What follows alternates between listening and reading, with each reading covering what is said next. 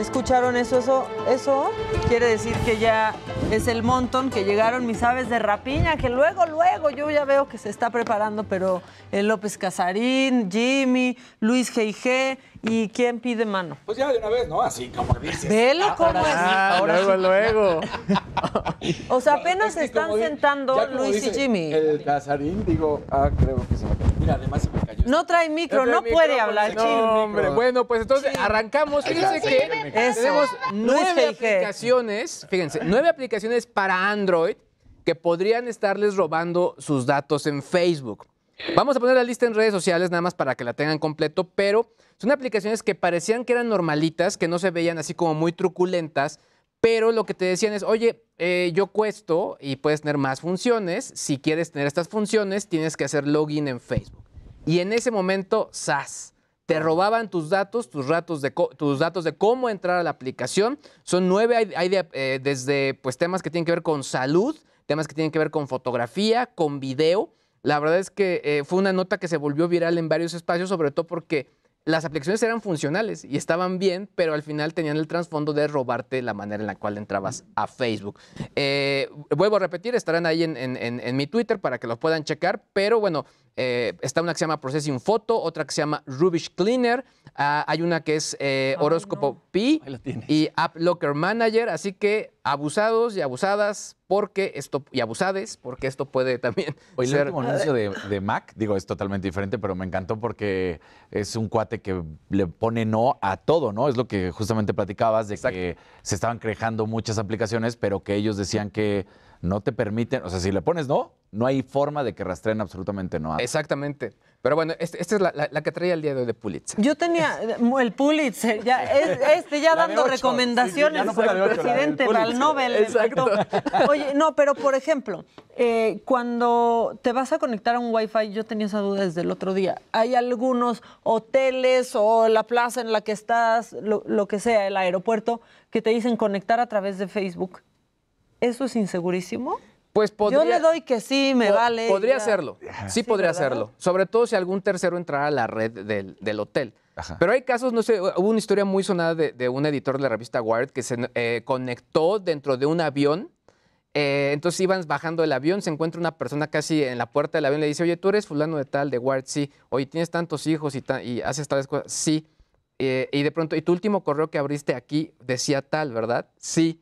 No. Y era un hacker que le dijo, oye, ten cuidado porque yo en la red del avión me metí y me, y me pude meter a los datos de tu computadora aquí dentro.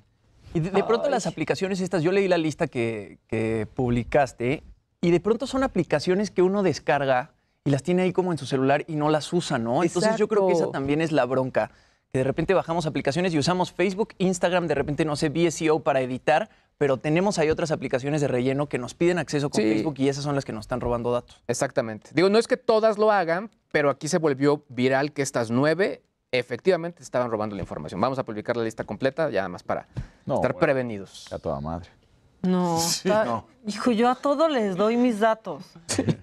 Soy bien fácil Digo, para dar los datos, chavos. No, pero al lo del día- hacemos. Todos lo hacemos. Por ejemplo, es que en este tema del Wi-Fi lo haces por tener Wi-Fi. Claro. Claro. O sea, sobre todo cuando estás en, no sé, en el extranjero y demás, pues que a veces el dato sale caro, entonces le dices Pero además que cuando revisas todo. todas las redes que tienes, o no, Maca, Luis, Jimmy, de repente te das cuenta que tienes como una el listado Sí. de 25 y de Ah, repente te das cuenta que redes, sí. el del café, el del hotel, el de no sé qué, dices, ah, caray, ¿para qué quiero todas esas redes? Sí, Sí, la verdad es que sí. Bueno, ya Casarín tenía ganas. ¿Quiere- ¿Te quedaste no, con nada más, nada más fue con López la... Casarín? La que sigue, López favor. Casarín.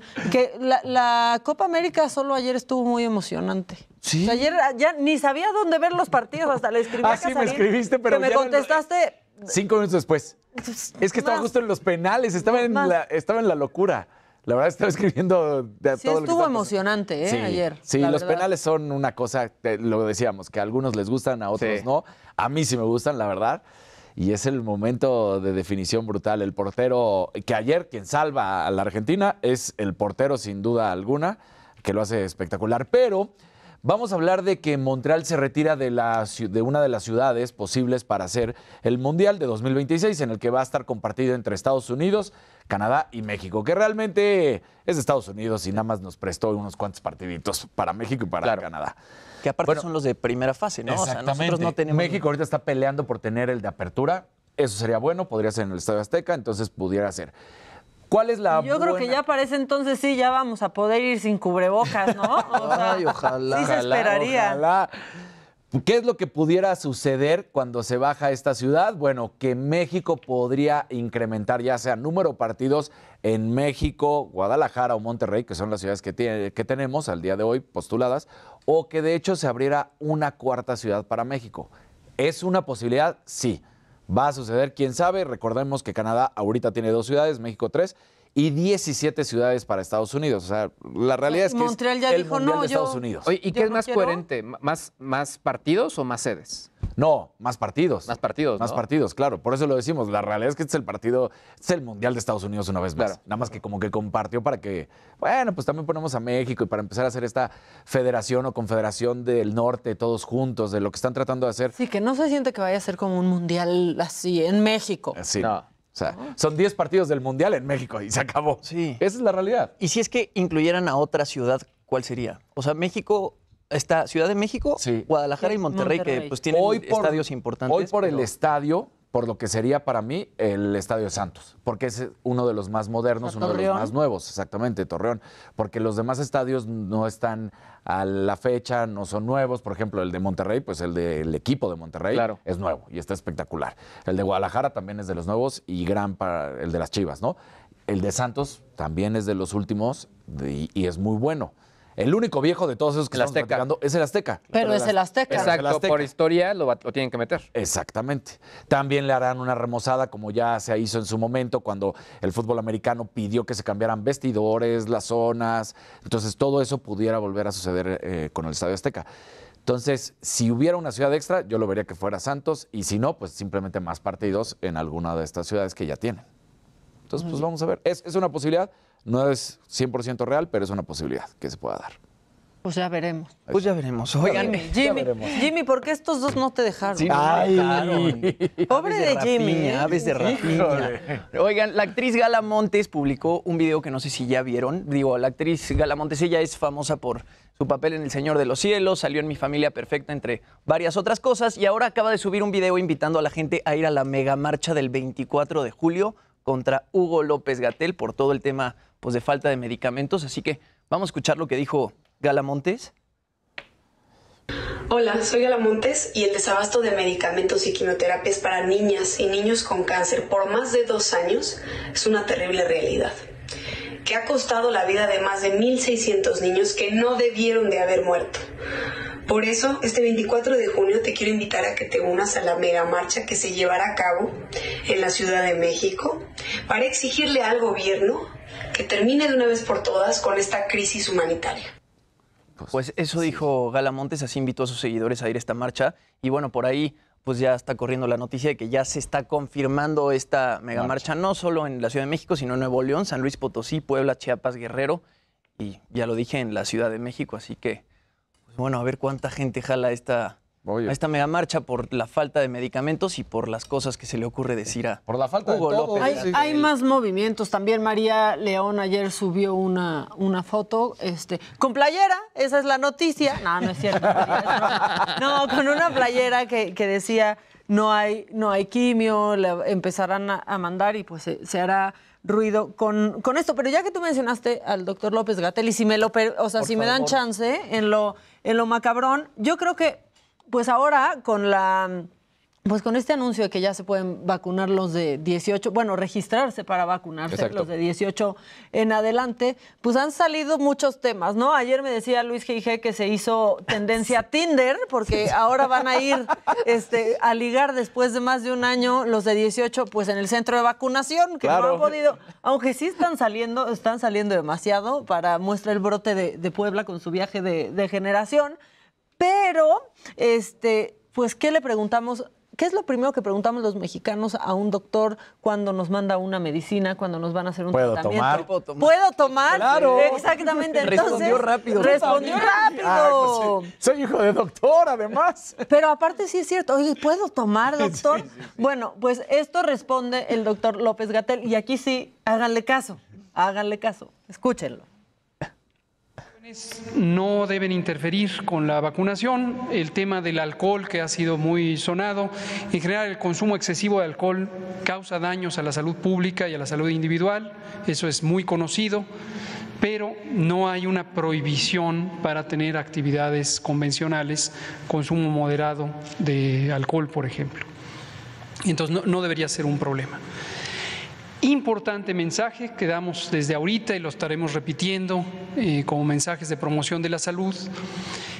Lo que ya ha dicho el presidente, vacunarse reduce muy significativamente el riesgo de tener enfermedad, sobre todo enfermedad grave y muerte.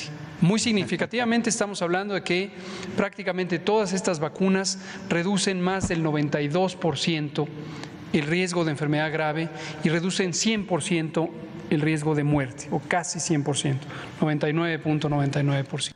Pues ahí está, háganle caso, háganle caso al ¿Sabes doctor por qué López se hizo la, prohibición del alcohol en su momento? ¿Por qué? Porque supuestamente, bueno, no supuestamente, después de que se vacunaba, la gente decía, pues ya soy inmune. Sí, a celebrar. Entonces se iba a celebrar y se iba a, a convivir y empezaba abrazos y todo eso y decías, pues no, espérate, así no va la cuestión. No, y otros Entonces por eso se prohibió. Decían que también porque pues podías confundir los síntomas de la cruda con una reacción adversa y yo sí creo porque la Sí. reacción de la vacuna Sí puede ser de una cruda. Sí, o sea, pero que te duelen Sí, los huesos, pero que te sientes vulnerable, que quieres llorar, o sea, porque Ya no más, por- no hay estado más puro del ser humano que uno crudo. O sea, en serio, es el más noble. O sea, uno crudo es noble, sensible. Pero es también sea, mentiroso. ¿Cuántas veces el crudo no dice Dios nunca más? Y ahí estás a la siguiente. Sí, es que se olvidan.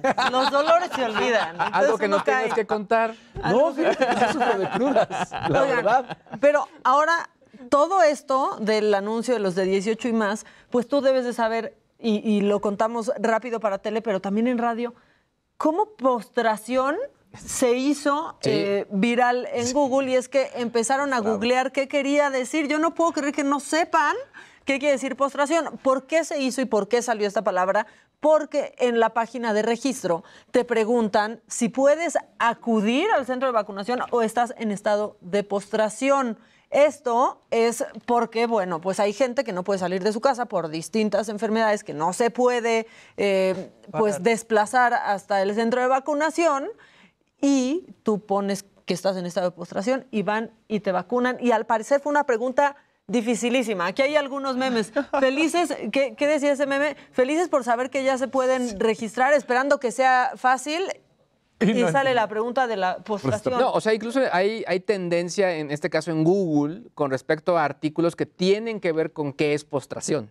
A ese nivel. ya, Como en ¿por su qué? momento con el Brexit también, ¿no? Que también todos los millennials empezaron a buscar qué es Brexit. Yo fui a votar. Millennials, por favor, ya ni so- estos ni son millennials, aparte, por favor, lean, sepan qué quiere decir postración. Yo espero que ustedes ahorita estén postrados, viéndonos y escuchándonos. Vamos a un corte, esto es Me lo dijo Adela y ya regresamos porque aparte viene Ana Torroja y yo soy su fan. Ya volvemos.